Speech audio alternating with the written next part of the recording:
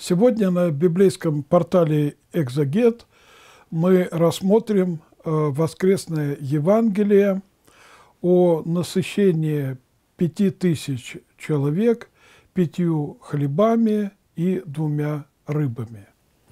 Это евангельское чтение Евангелия от Матфея, 58 зачало, с 14 главы, 14 стих и ниже – и выйдя, Иисус увидел множество людей и жалился над ними и исцелил больных их. Здесь э, нам предлагается событие, когда Христос, узнав о казни царем Иродом Иоанна Крестителя, удаляется из э, области, которая была в подчинении у Ирода – как святые отцы говорят, чтобы к одному убийству не было бы прибавлено другое убийство.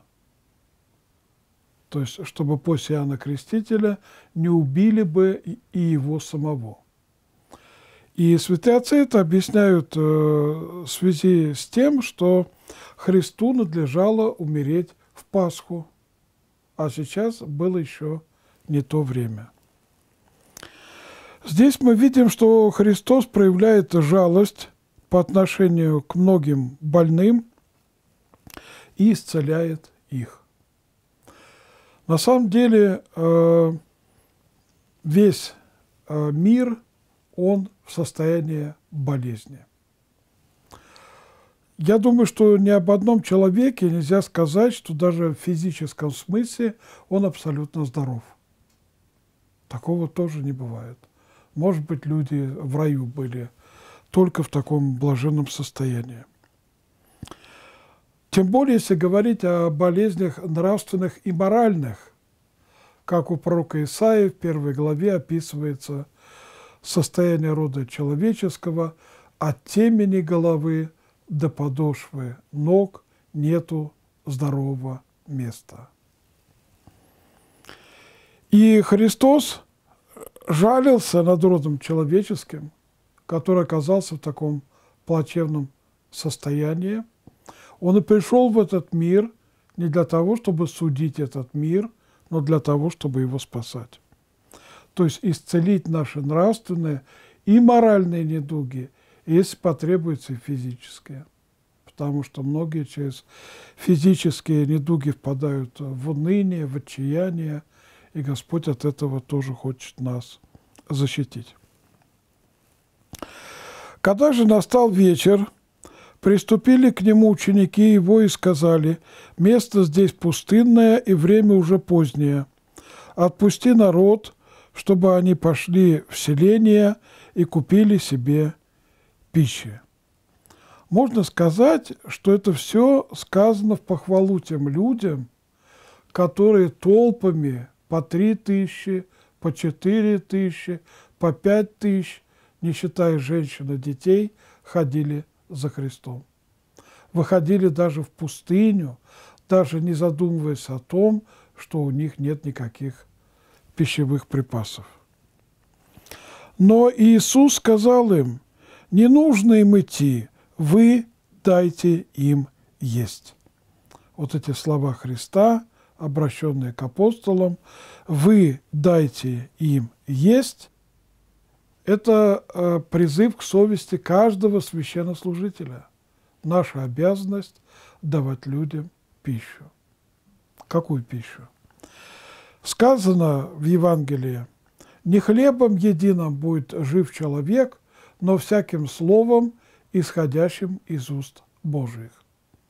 И наша задача духовенства – давать людям пищу, именно духовную пищу. И если мы это делаем, то мы исполняем этот призыв Христа, когда Он говорит, обращаясь к апостолам, «Вы дайте им есть». Конечно, Христос отлично понимает, что апостолы, которые оставили все и последовали за Ним, это бедные люди. Но здесь речь идет о духовных богатствах, которые они имеют во Христе и со Христом. Помните, как в книге «Деяний святых апостолов» описано, как апостол Петр исцелил человека. Смотревшись в него, он сказал, серебра и золота нет у нас, а что имеем, даем. И говорит, во имя Иисуса Христа встань и ходи. Действительно, церковь, она должна окормлять людей в лице своих священнослужителей, трехчинного духовенства, епископат, пресвитериат и деканат. Они же, то есть апостолы, услышав этот призыв, вы дайте им есть, говорят ему, у нас здесь только пять хлебов и две рыбы. А что тогда символизирует собой пять хлебов и две рыбы? Иларий Пиктовийский говорит, что пять хлебов – это пять книг Моисея. Это то, что было дано уже еврейскому народу. А две рыбы – это пророки, одна рыба, а другая – это Иоанн Креститель, который величие всех пророков. Но есть другое объяснение.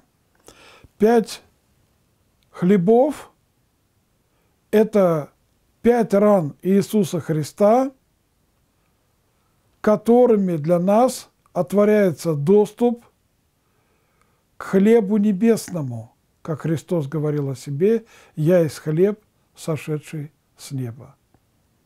Пять ран Иисуса Христа – это две раны в руки, две э, в ноги и удар копьем под ребро. Из э, этих кровей рождается таинство церкви. Но что тогда две рыбы – Рыба по-гречески «ихтиос» – это аббревиатура слов «Иисус Христос, Сын Божий». А почему две? Потому что Христос не только истинный Бог, но и истинный человек. То есть, когда мы исповедуем Бога человечества Христа Иисуса, и когда мы приступаем к спасительным таинством, которые отверзаются для нас струями крови Сына Божия, это и есть путь спасения.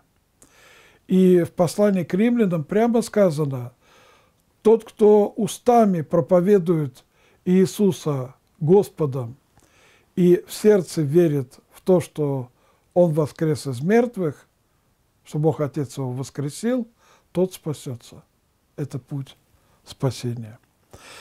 Так что апостолы поспешили возразить на слова Христа «Вы дайте им есть», когда они стали оправдываться и говорить «У нас здесь только пять хлебов и две рыбы». Потому что если мы даже что-то внешне незначительно имеем, но это имеем во Христе и со Христом, то это больше, чем все блага мира. Он сказал, принесите их мне сюда, то есть эти пять хлебов и две рыбы, и велел народу возлечь на траву, и, взяв пять хлебов и две рыбы, возрел на небо, благословил и, преломив, дал хлебы ученикам, а ученики народу. Вот это общий принцип. Мы получаем таинство церкви, мы получаем догматы веры из рук священнослужителей. Христос дает им, а они дают народу. И этот порядок не должен нарушаться. Есть священство, это ближайшие ученики Христа, конечно, все христиане ученики. В благодатном смысле все священники, в том смысле, что все молятся – как у апостола Петра сказано, что все христиане – это царственное священство, но есть и сугубое священство, трехчинное – епископы, пресвитеры и декана. И мы получаем благо святых таинств и благо наставления веры через них, как мы и прочитали, что Христос дал эти хлебы, эти рыбы ученикам, а они дали народу. И ели все и насытились, и набрали оставшихся кусков двенадцать коробов полных, а евших было около пяти тысяч человек, кроме женщин и детей. А двенадцать коробов, число двенадцать указывает на апостолов. И у древних отцов сказано, что даже Иуда в своем служении, а, он имел а, возможность давать людям некие духовные блага до того момента, пока он не совершил акт предательства. То есть каждый из э, апостолов совершил свой апостолат самым надлежащим образом. И набрали оставшихся кусков 12 коробов полных. Как сказано, Христос принес нам жизнь и жизнь с избытком то, что мы получаем во Христе, оно может выглядеть как нечто малое, но всегда будет с избытком. И отцы обращают внимание на то, что не сказано, что набрали хлебов, а кусков. Что значит кусков? Это те самые хлебы, от которых вкушали, и так наелись, что что-то оставалось а евших было около пяти тысяч человек, кроме женщин и детей. А число пять на что нам здесь может указывать? Оно может нам указывать на пять э, возрастов человеческой жизни. Младенчество, детство, юность, зрелые годы и старость. Церковь насыщает нас евхаристическими благодатными дарами – и в младенчестве, и в детстве, и юность нашу освещает таинствами, и зрелые годы, и старость. Но число пять также указывает на наличие пяти чувств в жизни каждого человека. И благодатным воздействием святых даров наши чувства освещаются. Помните молитвы, связанные с причастием? Мы просим Господа, чтобы эта благодать дошла до разделения составов и мозгов, судила бы помышления и намерения наши. То есть в таинствах церкви, а, в исповедании Богочеловечества Христа Иисуса, с одной стороны, благословение каждому возрасту в жизни христианина, с другой стороны, освящение всем нашим чувствам потому что Господь хочет, чтобы наши чувства были совершенными. Почему это важно? Средоточие человеческих чувств – это сердце. А Христос говорит, из сердца исходит блуд, нечистота всякая, кражи, убийства и так далее. Потому что в результате грехопадения чувственный аппарат пострадал самым страшным образом. Но, как известно, человек есть то, что он ест – и евхаристически меняются и наши чувства. Например, в Библии нигде не сказано, что имейте личную веру. Это протестанты придумали какую-то личную веру. Сказано имейте веру Божию. Потому что так называемая личная вера, она в любом случае будет субъективна. Она приемлема э, в момент, скажем так, обращения человека к Богу.